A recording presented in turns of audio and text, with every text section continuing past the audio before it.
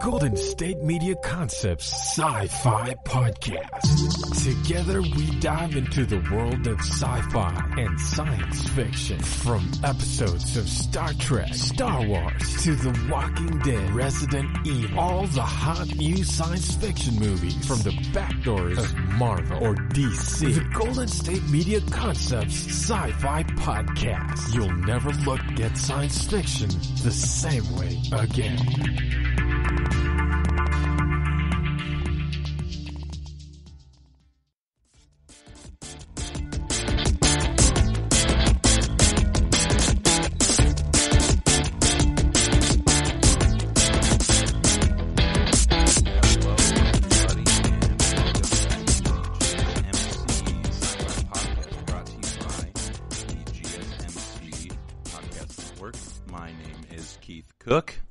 your host for today on this wonderful Wednesday. We are in like I don't know what week of COVID stuff. Uh, I've finally reached the point where every single day kind of feels like the same day over and over again, which is a sci-fi trope in itself. Um, don't worry, we're not talking about Groundhog Day today, or I'm not talking about Groundhog Day today. I think it's funny that I always say uh, "we're" as if there's another host on this show, but like it's just me uh, blathering on and on about things that I like that are at least somewhat remotely related to science fiction. um, so, yeah, it's just been weird. And I'm sure that everybody's experiencing that. So today, the topic of our podcast is going to be another sad movie. Um, well, I guess you could call it sad. I don't know. It depends on what your opinion of movies are. Last Sunday, we talked about Hyperion. We kind of mentioned this idea of immortality, and so I remembered this movie that I had watched that it's not your traditional science fiction movie in the same way that like Her isn't a traditional science fiction movie, but it's decidedly dystopian. Uh, this movie is called The Lobster. It's directed by uh, Yorgos Lanthimos or Yorgan Lanthimos. He's a, a Greek gentleman. He has a few films. Uh, his other film, The Killing of a Sacred Deer, is also on Netflix, and I recommend that one as well. Um, and before we get into talking about the movie and what it's saying and, and all of those things, I wanted to mention a couple of recommendations that I have at the top of the podcast for content for you guys to kind of look into that we'll probably be talking about next Wednesday. Because on Sunday, we're going to do a part two with Hyperion.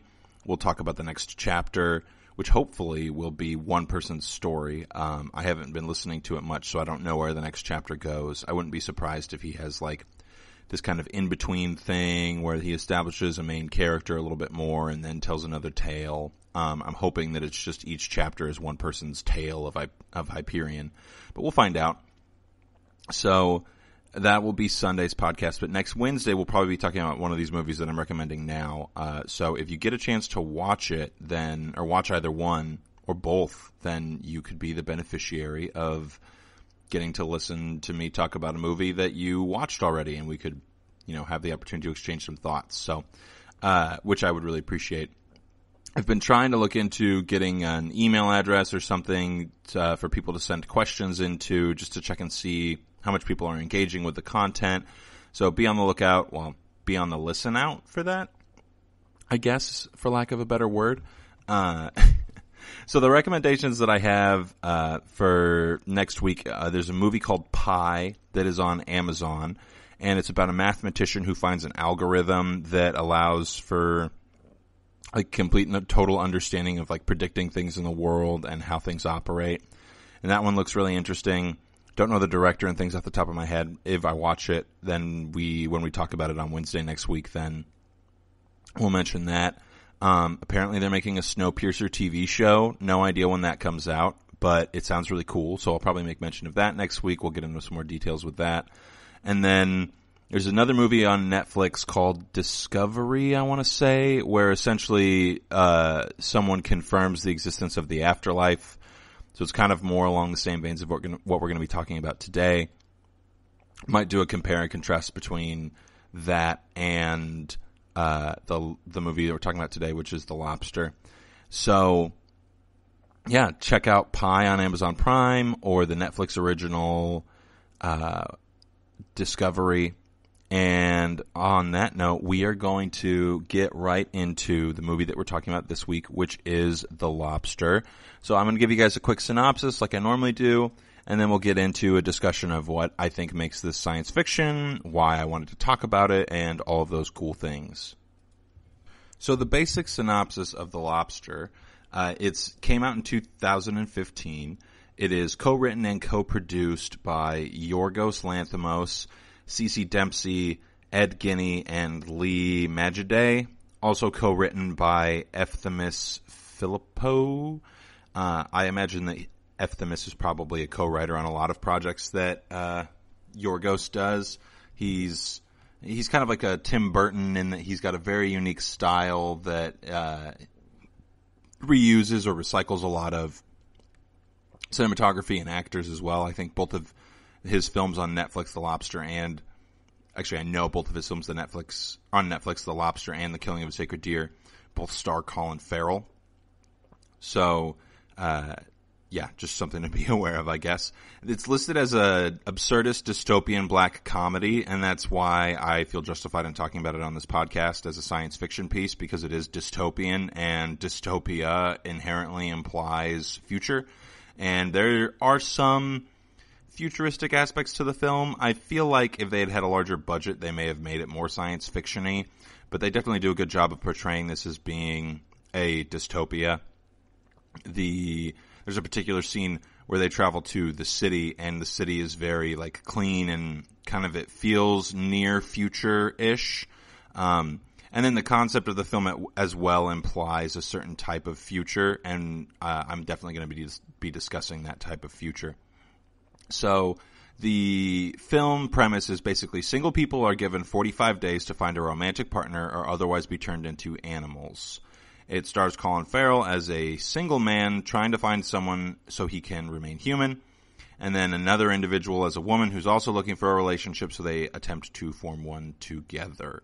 So, the the woman who is the woman who is his Colin Farrell's romantic interest is not introduced necessarily at the beginning of the film. The film is definitely divided into like two acts and I'm going to be giving away like most of the plot and things as usual. So uh, if you wanted to, you know, pause this podcast and listen to another episode of a GSMC podcast, bef- so you can have some time to watch the movie before you come back, cool.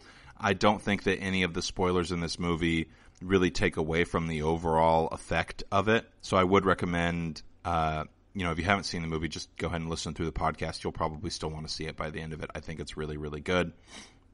So at the beginning of the film, we find out that David, uh, the main character, Colin, Colin Farrell's character, David has been, his wife has left him to be with another man.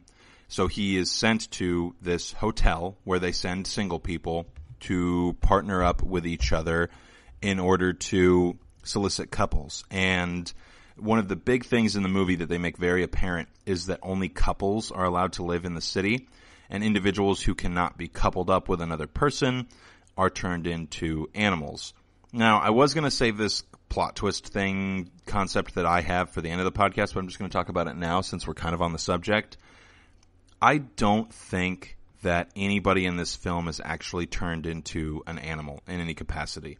I am very staunchly in the camp of thinking that there because this is a dystopian film, we just don't get a lot of background on what exactly it is that's going on in this particular setting. So, just as an example, or just to kind of experiment with a couple of ideas that might be implied in the movie, I think that there, because this is a dystopian future, there has been a decision made by the powers that be in this setting that there needs to be some form of population control that is going to solicit a more successful experience for the human race on the planet, or at least in this geographic location.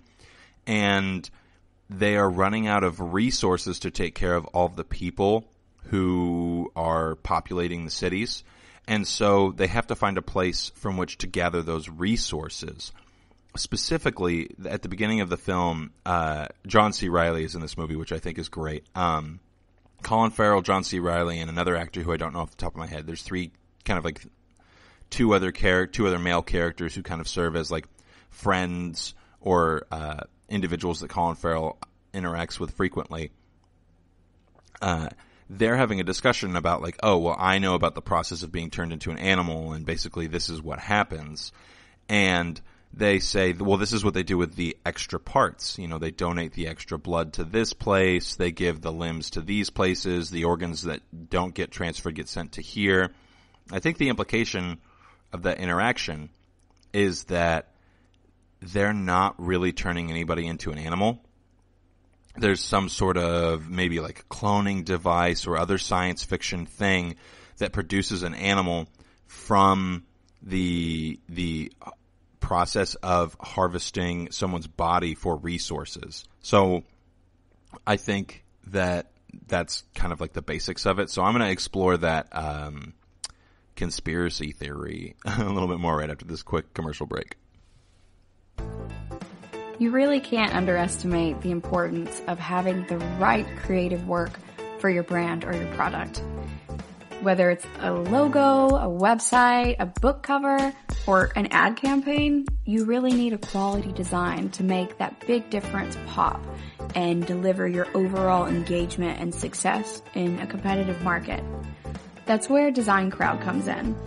Design Crowd has over 750,000 designers from Sydney to San Francisco, ready to help you with awesome creative ideas. They make crowdsourcing work for you. So if you need a logo or you're working on your creative branding, you can go to designcrowd.com and post a brief describing the design you need. And then within about two to seven days, you'll receive up to over a hundred different designs from designers around the world. Then you pick the best design and approve payment to the designer. So you're only paying for the design that you want. It takes a lot of the guesswork out of freelancing and out of crowdsourcing.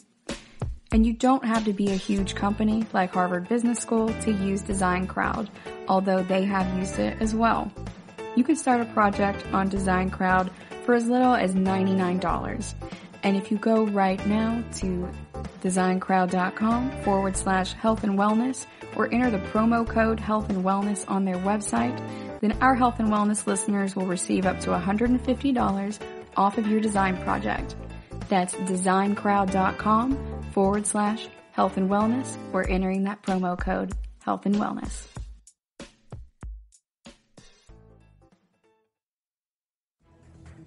Want to find out what movies to go see? Then check out the GSMC Movie Podcast. It's your ticket to the latest movies, whether it's a new blockbuster event, romantic, comedy, or action flick. This show has got it all covered. They talk some what to go see now. Don't bother. What's hot on Netflix and everything in between. That's GSMCpodcast.com backslash movie dash podcast. When it's all about the movies, it has to be this new show. Don't forget to like them on Facebook and follow them on Twitter. Visit GSMCpodcast.com for more info.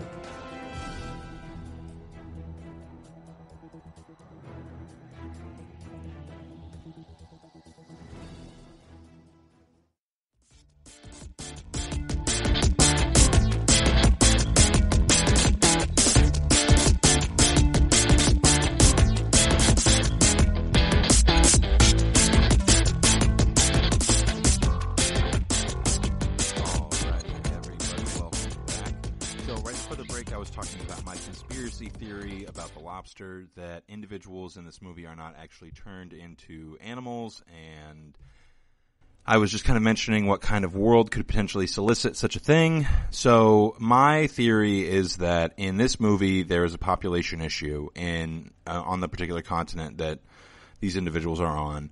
Uh, at least in the setting uh, that we are in. Maybe not in the whole world. We don't get a bunch of information about the world outside of this. So, my theory is that there's an overpopulation issue and a lack of resources in order to take care of individuals who are in a certain class. Um, and that class division is between single people and married people or couples, uh, as is listed. So, those are kind of like our two basic. It's a basic dichotomy of society where there's it's kind of like a hierarchical group. Of course, it's a very simple caste system, and so the element of science fiction comes in the alien ideas that are presented to certain individuals, as well as the fact that this is a dystopia. So in this dystopia, they lack the resources to care for individuals who are able to reproduce because they have been they've found a suitable partner and uh, so they harvest those resources from individuals who cannot find partners and therefore don't represent or aren't able to provide as much value to the world. It could also be a like just a population control issue as well. Uh, just it's some form of totalitarian government that solicits the need to eliminate individuals who cannot provide a certain, uh, I guess, resource would be lack of a better word but basically they as individuals cannot contribute to society in the way in which society has decided that it they can provide value. And individuals provide value in their ability to be in couples and reproduce. So colin farrell has found himself in the camp of being single. So now he is in the position of potentially having his humanity taken from him.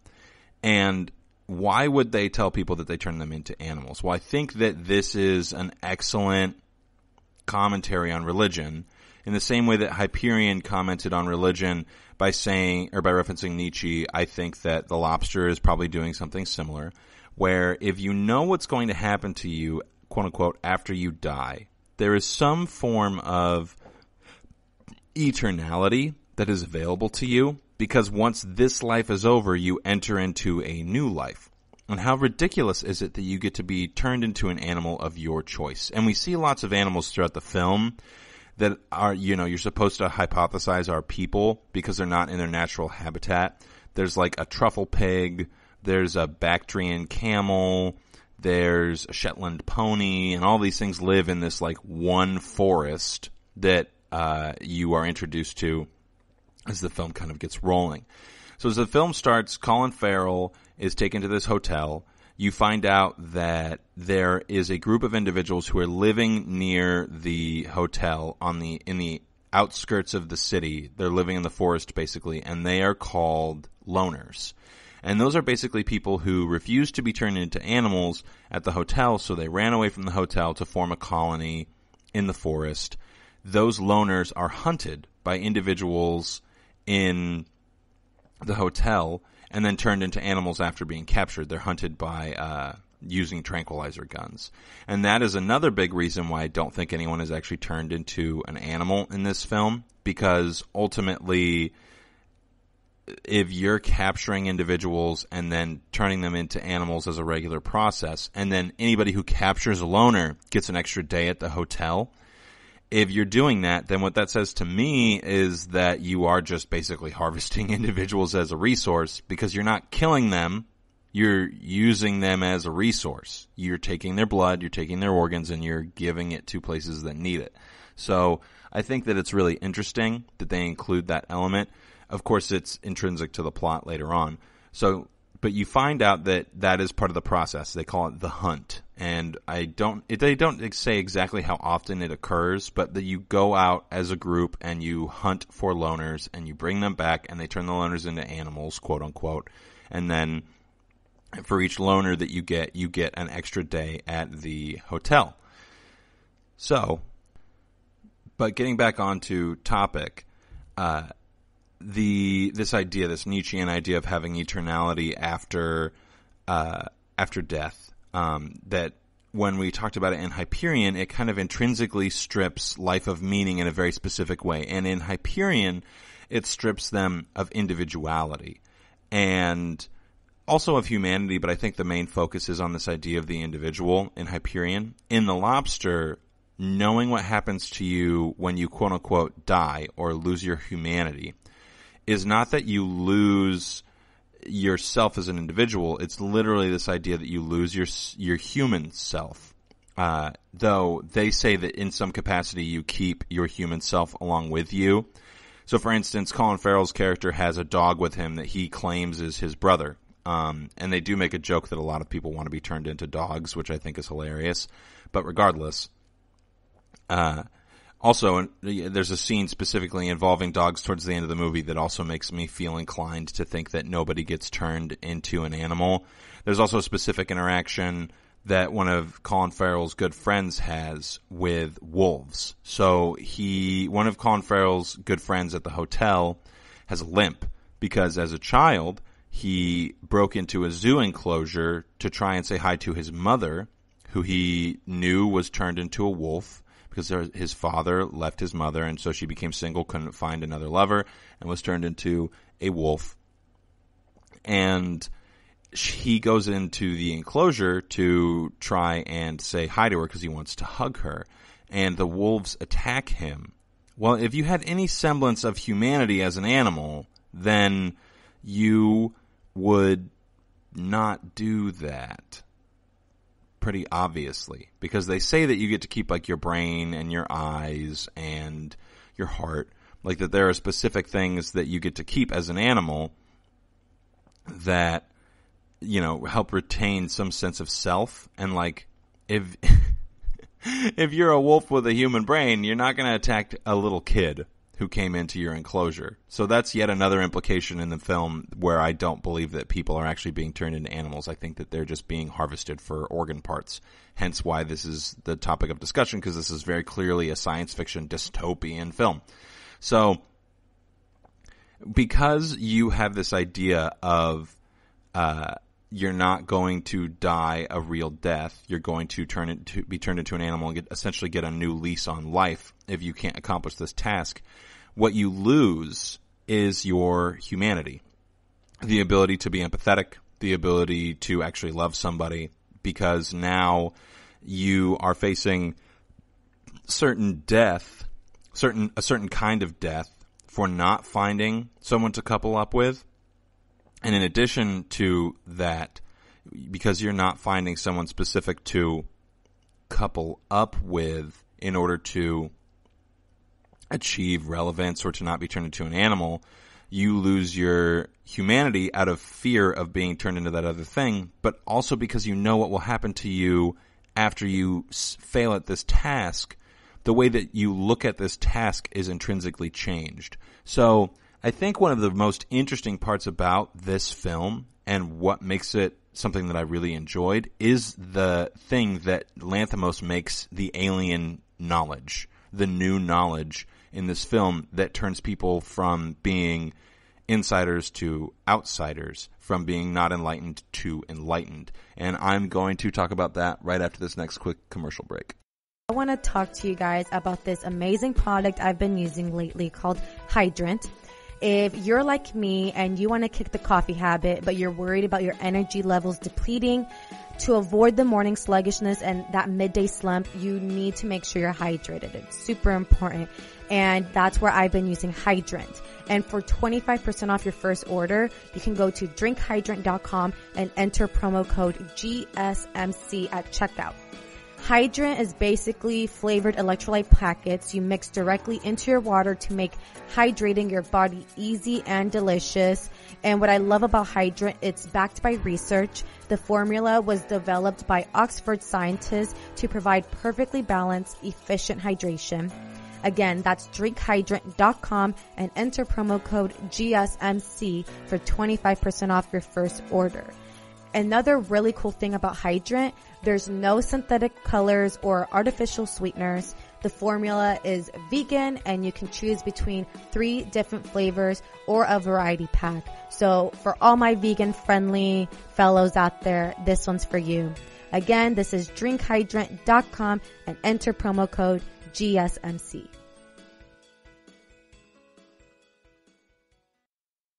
Tired of searching the vast jungle of podcasts? Now listen close and hear this out. There's a podcast network that covers just about everything that you've been searching. Hey! The Golden State Media Concepts Podcast Network is here. Nothing less than a podcast bliss with endless hours of podcast coverage.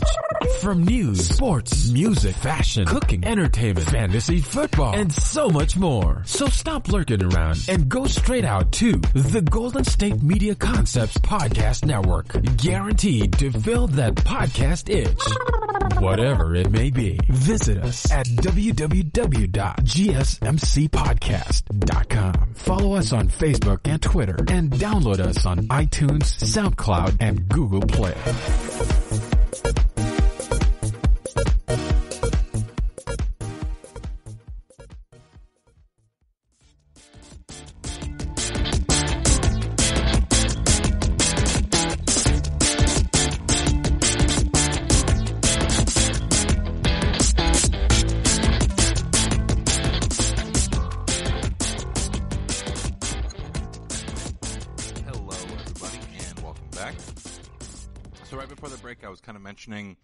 What it is that I think is the alien knowledge or the new knowledge that is presented in this film that really lands it straight into the camp of science fiction, uh, aside from the dystopian overtones and undertones. And that alien knowledge is the knowledge of love.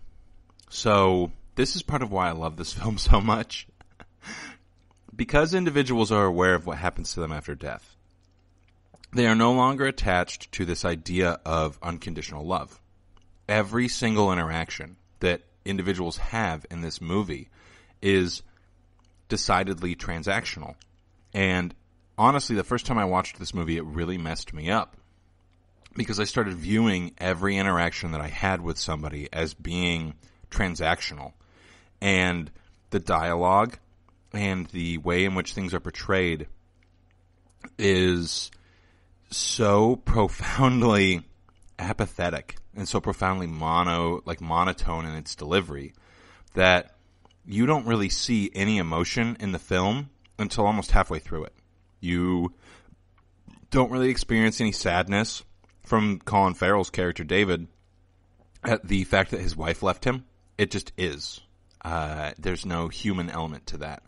The first time that we see a human element is when Colin Farrell has specifically interacted with a woman who is, uh, you know, she has no, she's she's supposedly is a psychopath.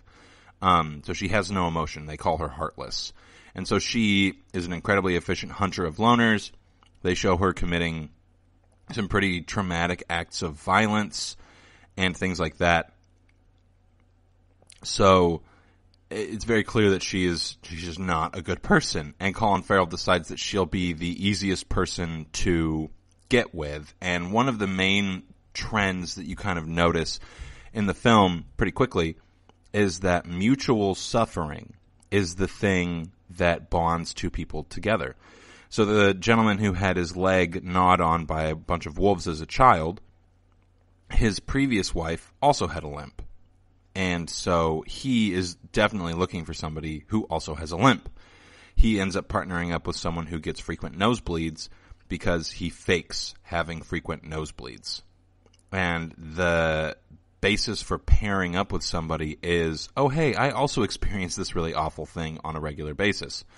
And so that is a, a synthetic form of transactional love of like, oh, we both have this very basic thing in common. We both suffer in the same way, so we should partner up. Um, and the only individuals who don't seem to fall into that category are a couple. They are the mother and father of the woman who is in charge of the colony of loners that Colin Farrell joins about halfway through the movie. But that's after this particular instance. So Colin Farrell finds this psychopath woman, decides that he is going to fake it until he makes it with her. So he has to pretend that he also has no feelings and does not value human life in any capacity the same way that she does not value human life in any capacity and lacks emotions. And we start seeing him showing a little bit of emotion and caving into this lie um, during the scene where they're having intercourse with each other.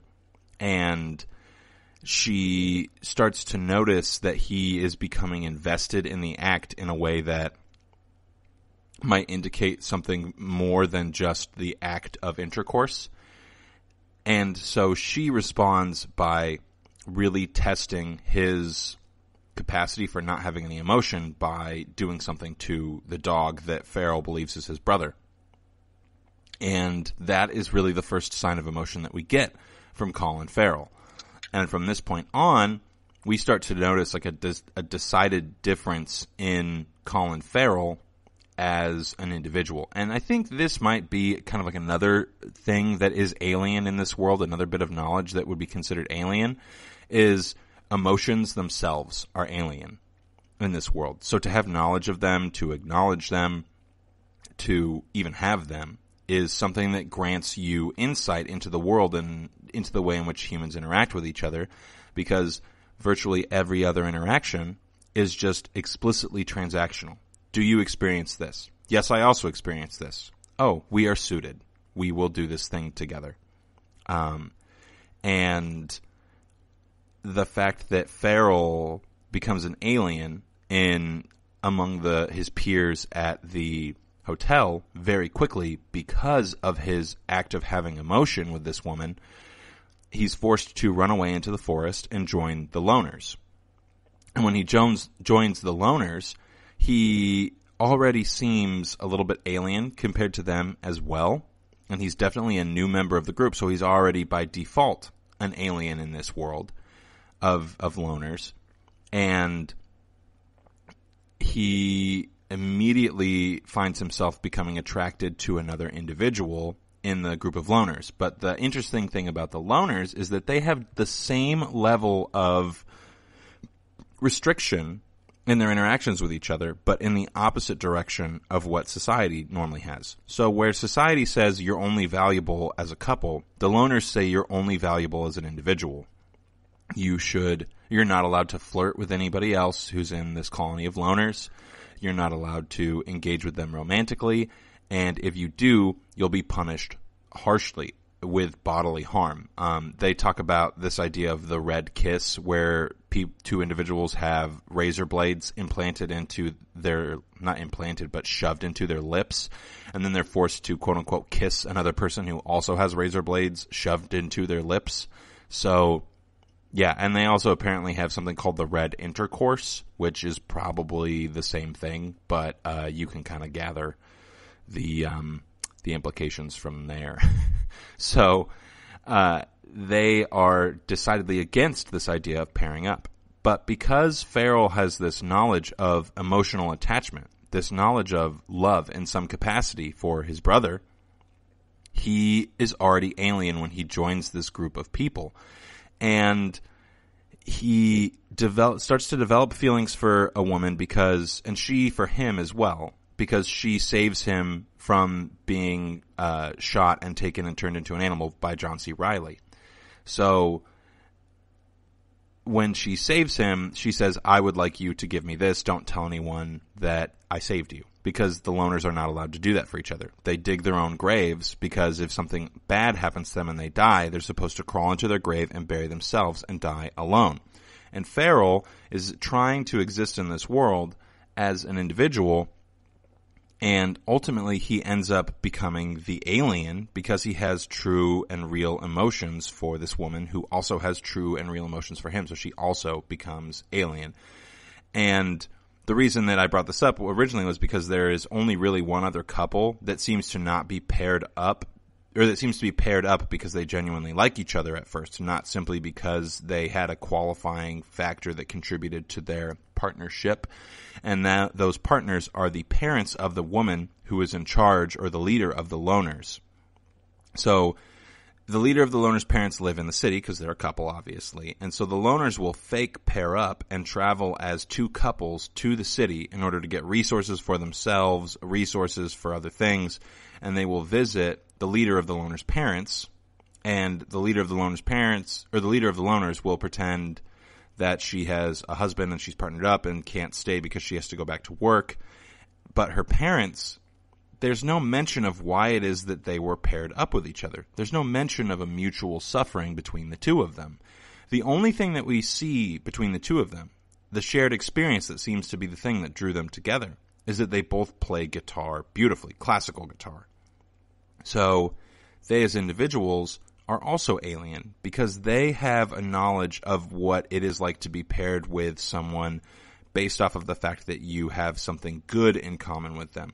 Whereas literally every other person who pairs up in the movie, they do it based off of something that they both experience suffering with.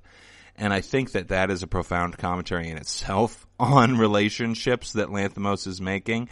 But we're going to talk more about that as well as some other things about the movie right after this next quick, quick commercial break.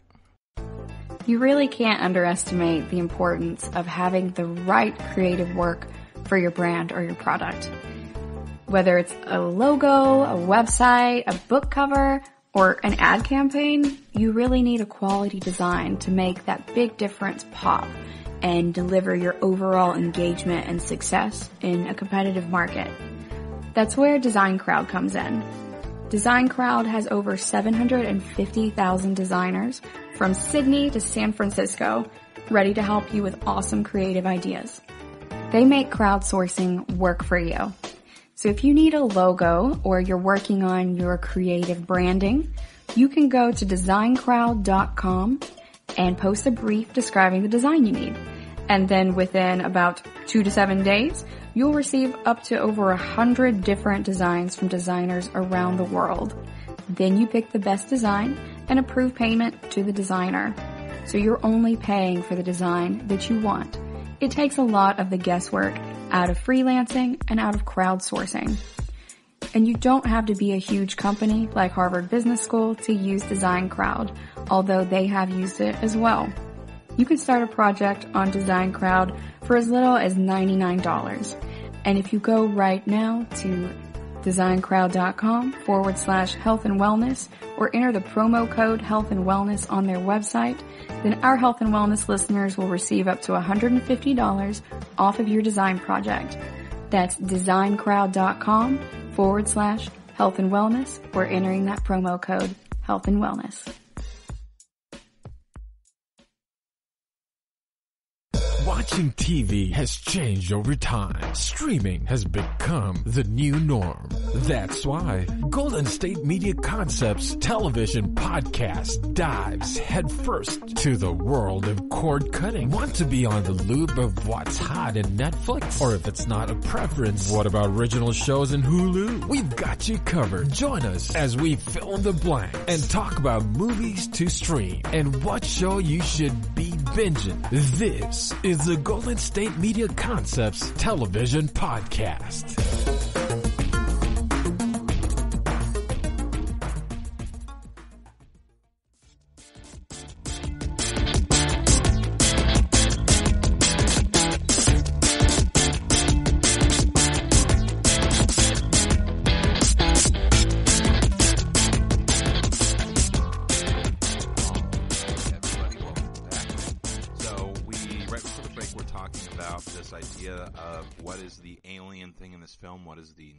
Knowledge that is causing individuals to become the or to serve the function of being alien. And I was specifically talking about the couple or the parents of the leader of the loners and how they had paired up based off of a mutual interest and not off of mutual suffering the same way that everybody else had. And so ultimately I think that they serve as kind of a mechanism to not necessarily comment on what makes a healthy relationship because I don't think that Lanthimos is interested in telling us what he thinks makes a healthy relationship in this film. It's more of a comment on what is it exactly that makes people quote unquote fall in love or become emotionally invested in each other. And I think what he is trying to say is that ultimately pretty much everything that you do in life is going to fall short of your ability to fulfill the expectations of other individuals in transactional interactions. So when you have a transactional interaction with another individual, there's an expectation that is established in that interaction. I expect to give you this thing and to receive this thing from you in return. And when you do that in love with another individual, when you're in a partnership with someone and that is the way in which you interact with them, you're going to ultimately end up in this place of toxicity because you're not truly communicating your needs with the other individual. You're not actualizing any part of you as an individual.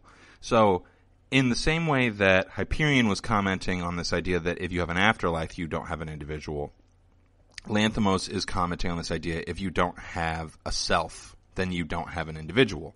You have this perception of what it is that you're supposed to do, this perception of how it is that you're supposed to act, and this perception of who you are that is relevant or relative to other people's interactions with you and not your interactions with yourself.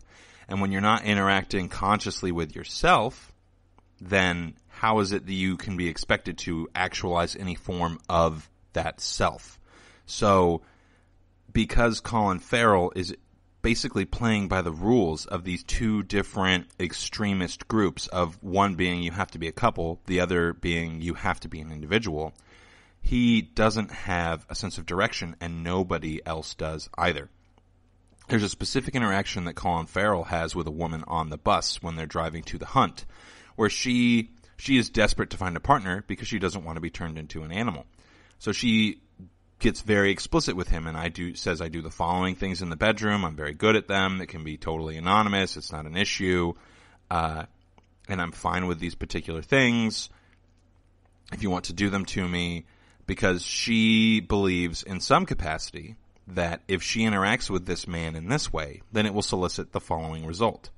So she is falling into the camp of being transactional based off of what it is everyone else thinks that she's supposed to do. And then she says, if I don't succeed at this, I'm going to kill myself.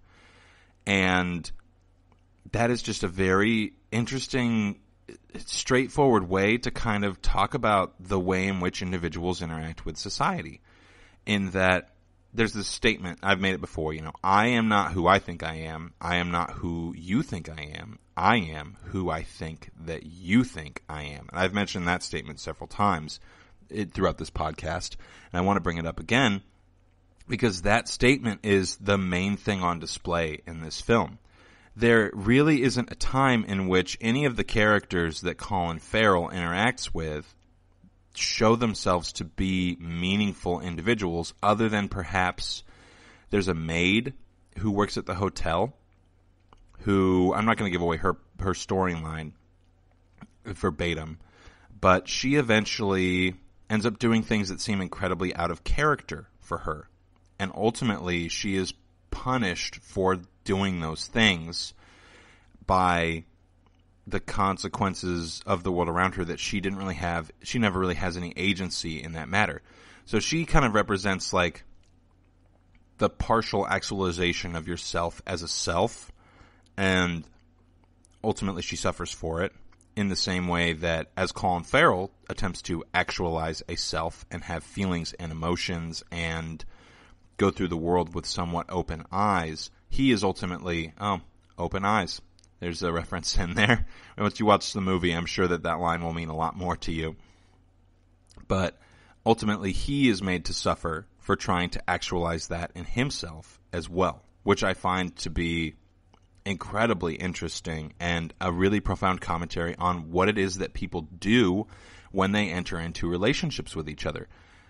They ultimately shut their eyes to the truth. In the same way that every character in this film shuts closes their eyes to the truth. They're completely blind to what is the reality of what's going on around them. They all believe that you'll be turned into an animal when there is a mountain of evidence that indicates otherwise, especially when you take into reference that there's a, a, man walking around with a limp because he was attacked by wolves that used to be humans. Again, I'm not buying that people are turned into animals and then that they still attack other people. I don't think that that's the way that it would be if that were the case. So they buy into this idea that you get turned into an animal. But they buy into this idea that it is only good to be with another person. And that is kind of a subtle, pernicious thing in a lot of cultures around the world where like the the apex of your life experience is getting married and having kids. Like the thing that will actualize you as a person is that you've found someone who will spend the rest of their life with you, who will reproduce with you. And that plays on like an evolutionary prerogative that we have as individuals, but it's something that has been manipulated into be into something that we believe as a society is the most important aspect of living. And ultimately, in the same way in which every transactional interaction that you have is going to solicit disappointment, the same thing is going to occur when you place all this value in the actualization of your being being of your being well, okay, sorry. So when the actualization of your being becomes intrinsic to your ability to be actualized by another person who affirms your value and not you affirming your value in yourself, then you end up in this place where all of your interactions become transactional. You are blind to the truth and you end up just mindlessly pursuing the things that the world tells you to pursue. You are that indiv- that woman on the bus who says, I will do the following things in order to get you to partner with me. You are that man who manipulates a potential partner into being with him because, or by pretending to have nosebleeds and injuring himself in order to get them. Because it would be worse, and this is just a straight line out of the movie, it would be worse to be turned into an animal than it would to live a lie. And the fact that Lanthimos straightforward says that is a statement about relationships in themselves, about this idea of interactions being transactional, about the way in which our experience will constantly fall short and be disappointing because of our lack of empathy, understanding, and meaningful interactions with other individuals. It will not be what we want it to be and we will ultimately fall woefully short of what we're looking for because we are in this place of not having a self. We are in this place of blindly moving forward without any true motivation that comes from self-reflection. We just allow the world to impose its will on us without actively thinking about what it is that we're doing because we're doing what we're supposed to be doing, quote unquote. And that's one of the biggest things that the lobster is talking about. So we're going to keep on talking about these themes in the lobster, the philosophic themes, some more of the science fiction stuff, and the rest of the plot of the movie. And we're going to do that right after this next quick commercial break.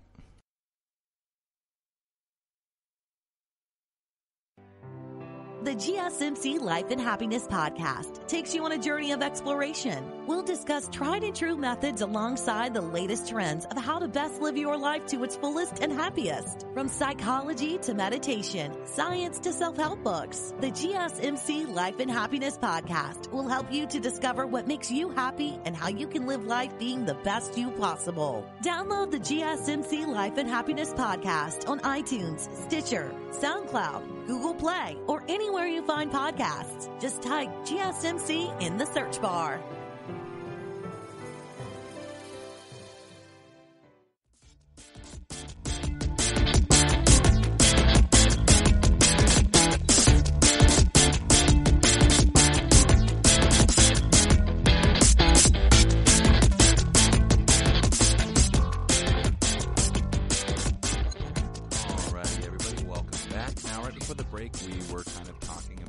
What it is that the lobster is saying about self-actualization and the process of learning to become oneself, the process of self-knowing, and what it is saying ultimately about that in reference to relationships and how, you know, we rely on those things too much as a crutch.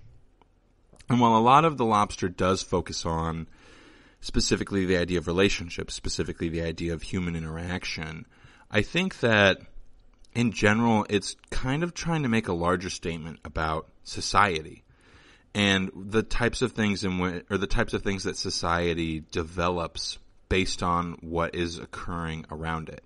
So because we don't have a ton of backstory on why exactly the world has become the way that it has become in the lobster, the only way that we can kind of reflect on what Lanthimos is trying to say about society in general through the interactions of individuals in that world. And this kind of gets back to this idea of an afterlife being a concept that is known and knowing exactly what that afterlife looks like and how it strips individuals of a specific type of meaning depending on the contingencies of that afterlife. So in this movie, the afterlife, quote unquote, if you have failed, aka died, um, which is a whole interesting implication in itself. So I'll get to that right after I talk about this. um, the result of that afterlife is that you're stripped of your humanity. But because you know that you're going to be stripped of your humanity, you kind of lose it anyway. You default to this incredibly transactional form of interaction where you're just trying to not necessarily win at anything, but trying to win someone.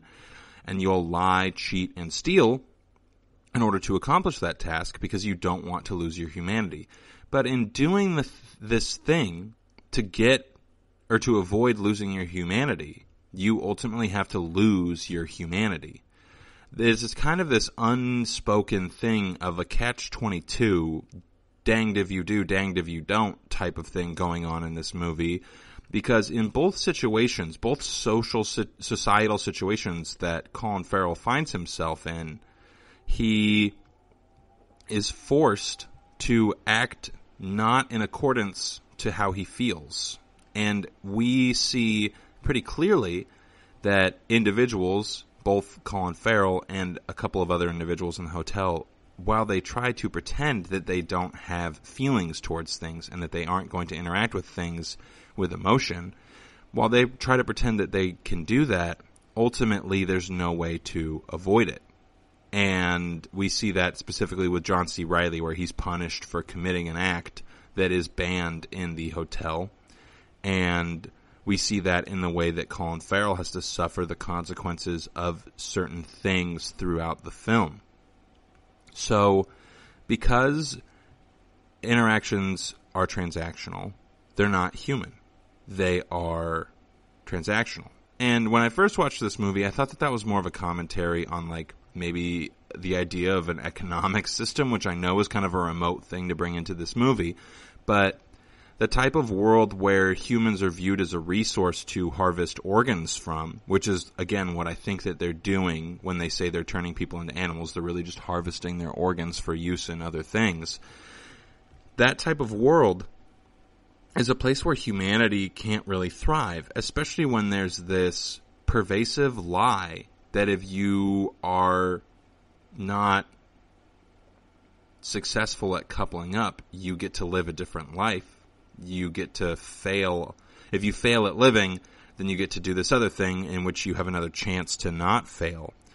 Then you lose the temporality and the importance of doing that thing in a meaningful way because you can just do that thing and if you fail, well, I get another chance.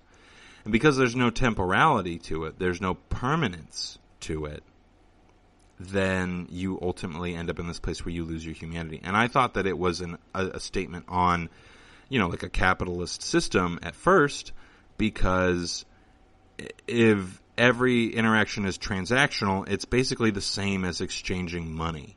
And so for me, when I first saw this film, one of the reasons that it messed me up was because it felt like suddenly there was a value that was placed on every interaction that I had with other individuals. And I, I thoroughly believe that that is absolutely an intentional part of this film on Lanthimos's part to kind of make you look at the interactions that you have with other individuals and ask yourself, what am I trying to get out of them and what kind of value does it have to me?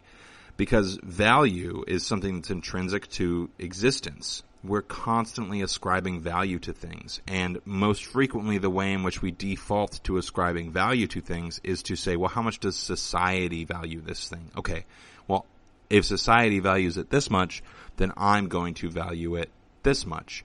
And so we act according to that inclination, um, rather than according to how we actually feel about the value that something has in the world.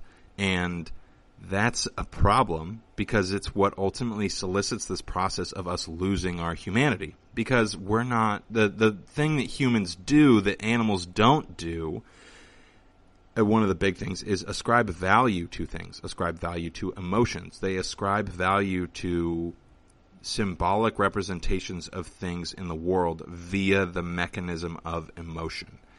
Because it's not as if a teddy bear has any kind of intrinsic value in the overall scheme of the world or in the overall scheme of survival.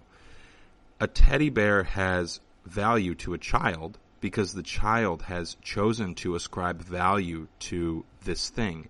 And the teddy bear isn't really a teddy bear. The teddy bear is a symbol of something. It, even if it's just a representation in your head, and when we ascribe a word to a thing, it's not as if the thing gains thingness because of our giving it a word. The Schrodinger's cat thing, or the Schrodinger's cat argument, where, eh, you know, if it's in the box and we can't see it, does it really exist? It's not true.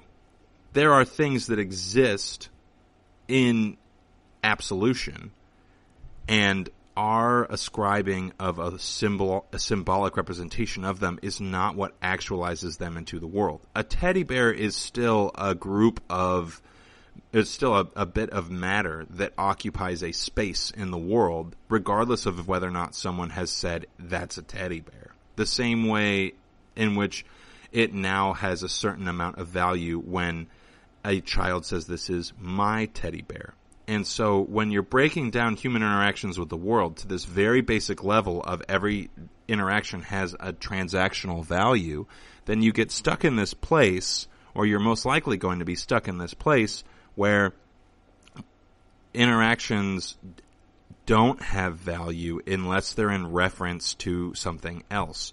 And that's just not true.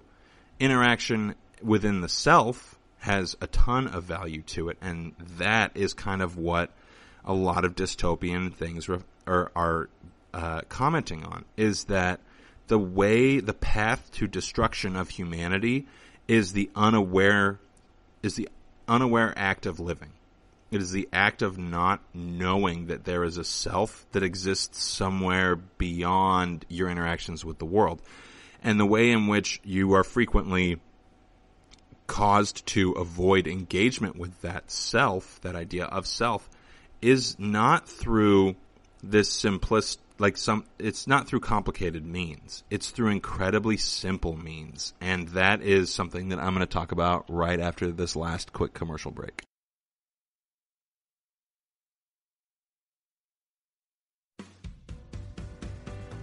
The Golden State Media Concepts Travel Podcast, the show that gives you advice on everything travel. We explore places you've always wanted to go, as well as giving tips for traveling in those places. We'll give you advice on the best sites for travel tips, information, and discounts. Join us as we travel the world, explore cultures, and meet new people. The Golden State Media Concepts Travel Podcast has got you covered. Download the GSMC Travel Podcast on iTunes, Stitcher, SoundCloud, Google Play, or anywhere you find podcasts. Just type GSMC in the search bar.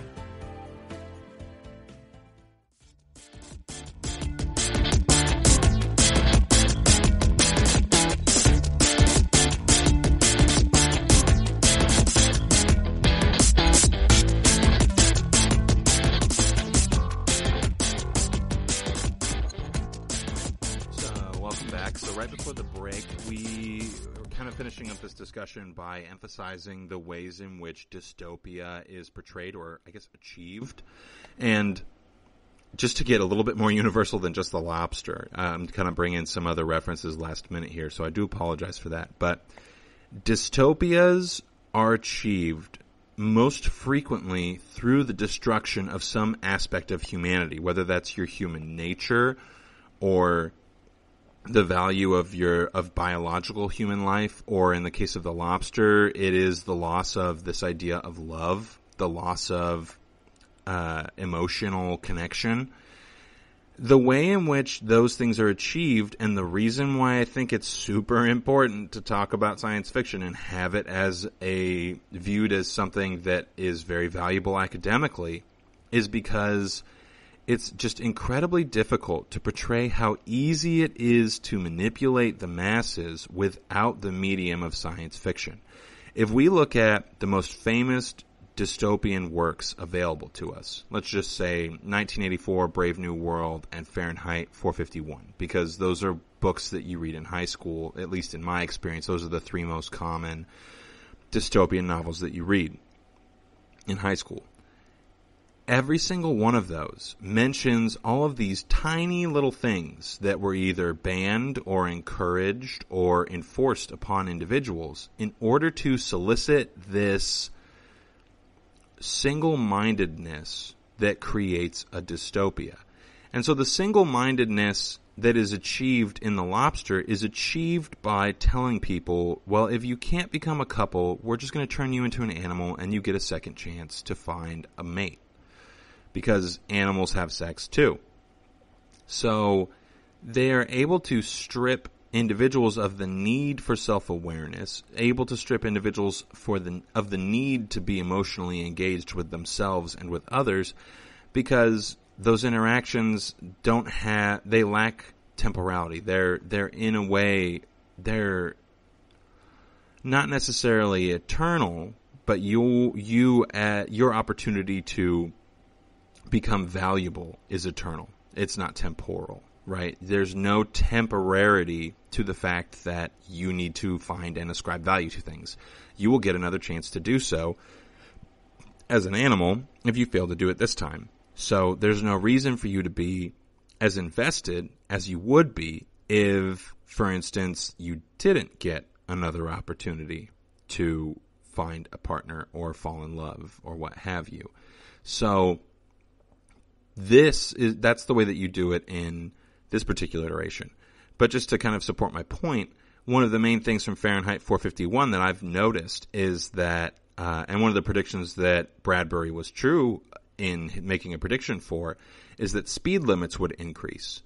Because when you're driving at 80 miles per hour, you don't have time to reflect on anything. You have to be focused on this unnatural interaction of your vehicle with the road. And so in Fahrenheit 451, you don't have speed limits, you have speed minimums. And if you are going slower than the speed minimum, they'll pull you over because it means that you might be practicing some form of mindfulness. And the main thing in Fahrenheit 451 is that you're not supposed to read, like that they burn books. Books clearly are a way, and other forms of media are a way by which to achieve mindfulness and self-awareness and empathy. And the way in which we walk down the road to dystopia blindly, emphasis on blindly because sight is a very big thing in the lobster. Um, I could honestly probably do a whole podcast just on the symbolism, the symbolic representation of and literal representation of the ability to see in the lobster. Uh, but we are only going to do one part podca- podcast on this on this particular movie, so I do apologize for not getting to that. Anyway, I'll finish my thought. I swear. so, because it these small little interactions with the world are the things that give us the ability to self actualize. They're the things that give us the ability to understand the world around us and to engage with ourselves and engage with others. When you take them away, you end up in this place where people become single minded and easy to manipulate like sheep. And I'm sure that there's some symbolism in the selection of the lobster for Farrell. Um, a lot of this movie seems to be absurdist in the sense that it's saying something while actively trying to not say something. And that is something that I really love about the movie because in its act of trying to not say anything about anything, you get to ascribe meaning to it on a very basic level. And so Lanthimos is at the core of the movie forcing you to do the thing that no one in the movie will do. And the reason that the movie is terrifying is because nobody will do this thing. So Lanthimos is forcing you to do this thing in this kind of like I don't want to say never ending cycle of, but this cycle of ascribing meaning and to things that don't have intrinsic meaning. So it's just very, very interesting the way and effective the way in which he does this, the way in which he portrays these miscellaneous elements of the film. So back to this the topic of you know how we get to this point um, we get to this point by not consuming things mindfully and not being mindful about our interactions with other individuals. And ultimately, in the same way that mindfulness solicits consequences in the lobster, we too are forced to experience consequences of mindfulness and ascriptions of value to things in the world around us. Because when we decide for ourselves what kind of value things hold, it means that we're ascribing that to our, via our own individual self. And that we're probably not going to ascribe meaning to that thing in the same way that everybody else in society is going to ascribe meaning to that thing. And that ultimately is going to alienate us. Because when there's this transactional expectation when it comes to interacting with other human beings, the expectation is that we're both going to come to the same conclusion because we divide, we desire congruity most more frequently than not. It's not very often that you find people who are self-actualized who are hopeful that other people will think the same way that they do. We mindlessly pursue this idea of being unified in our thought processes. We want everyone to be single-minded because we're intrinsically social creatures. And if you look at the animal kingdom, then the creatures that are not single minded are the ones that will more frequently than not die and fail to reproduce. And so at its core, we, uh, being animals ourselves, either evolved or were designed to act on those same instincts. And when we allow ourselves to go to this basal, this basic instinctual level of interaction with the world where we're not ascribing value to things based off of our own individual conclusions, you get to this place where you are mindless and you are just a cog in a wheel of a machine that does not care about you. The individuals who are harvesting body parts, they don't care about the individuals who are being turned into, quote unquote, turned into animals. They have no vested interest in them. And because they have no vested interest in them, even the people who are doing it, the people who run the hotel, they have no vested interest in each other. They have no vested interest in the well-being of other individuals. And so the very core of what makes someone human, the ability to relate to other humans, is lost. And that I think is the biggest thing that the lobster is trying to say is that when you are not self-aware, when you are not acknowledging the sinister truth of the way in which society tells us that we're supposed to interact with each other. When you don't acknowledge that, you end up in a place where ultimately you aren't really human. You are just a mindless cog that continues to turn in this wheel and that it is painful and difficult to break free of that system. And I've mentioned this idea of like traumas and hurt and pain before. Um, just, I think the biggest thing in this movie is that the fear of rejection, the fear of outsideness or ostracization is more powerful or can be more powerful than the desire to self-actualize, the desire to do something truly good and meaningful for yourself or for another individual. And because it's so easy for us to become mindless in that way, because it's so subconscious, when we allow that to happen, then we are stripped of the thing that makes us human. And that thing that makes us truly human is the alien thing in the lobster, and that is love. The thing that gives us the real capacity to evolve and to become better versions of ourselves is love. And that starts from within. So the lobster ultimately is in its own way this incredibly cathartic journey to the conclusion of love is the only way by which we can continue to be mindful human beings. And that is part of why, it's a major part of why I love the film so much. And it's also kind of funny that that's the conclusion that I think ultimately needs to be drawn from this film because the way by which you get there is not the way that you're going to be expecting to get there. And if you've seen this film, you know exactly what I'm talking about. And when you watch it, which I highly recommend that you do, I think that you'll also be pleasantly or unpleasantly surprised that that is a similar conclusion that you'll probably draw from it. But that's where we're going to end today's podcast. Uh, so if you draw different conclusions, mention them in a review, leave some comments. Uh, would love to get your feedback on things. Like I said, keep your ears open for potentially an email address for you guys to email questions into. I'd love to do an episode where I answer some of your questions if any of you have them, assuming I have anyone that even listens to this through the full thing. so, uh, yeah, like and subscribe. Follow us on Twitter, at us on Twitter. Definitely leave your comments about this movie, The Lobster. It is streaming on Netflix. Thank you guys so much for listening. We will be back on Sunday to talk about the second chapter of Hyperion, or at least the next uh, tale in Hyperion. So, have a great day, everybody. You've been listening to the Golden State Media Concepts Sci-Fi Podcast, part of the Golden State Media Concepts Podcast Network. You can find this show and others like it at www.gsmcpodcast.com. Download our podcast on iTunes, Stitcher, SoundCloud, and Google Play. Just type in GSMC to find all the shows from the Golden State Media Concepts Podcast Network, from movies to music, from sports to entertainment, and even weird news. You can also follow us on Twitter and on Facebook. Thank you, and we hope you have enjoyed today's program.